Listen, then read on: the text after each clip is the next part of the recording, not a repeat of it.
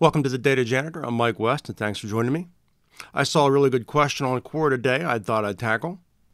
It's someone who's been following me for a long time.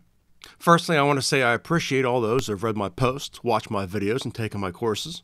I sincerely thank you for that.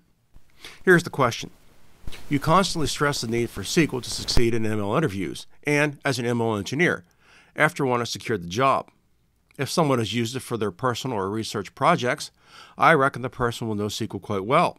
Considering this, can't motivated undergraduates in computer science gain working knowledge of SQL and Python, clear the interview, and secure a lucrative job? Why then do you stress the need of having several years of experience to get even an entry level role? All right, this is a multi part question, so let's break it down. I constantly stress the need to know SQL because it's a requirement almost every machine learning role. Here, take a look. This one throws people off because the basics of SQL are very easy.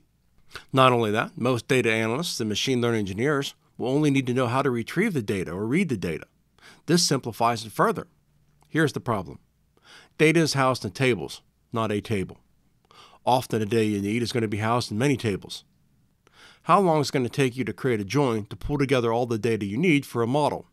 Here's some code that's similar to something I authored to pull together some data for a problem I was working on. I had to remove all the company info, so this code comes from a training database. The code is called a common table expression, but that's irrelevant for our purposes here. The question to you is, how long as a novice is it going to take you to write this? Honestly, just focus on the select statements. The lesson here is that the very basics of SQL are easy. The second you move beyond the very basics, not so much. If you can't author the code to create your model, you failed at the very first step of the machine learning pipeline. What comfort level do you think I have in your abilities when you can't do the very first thing I ask you to do? Let's tackle the next part of the question.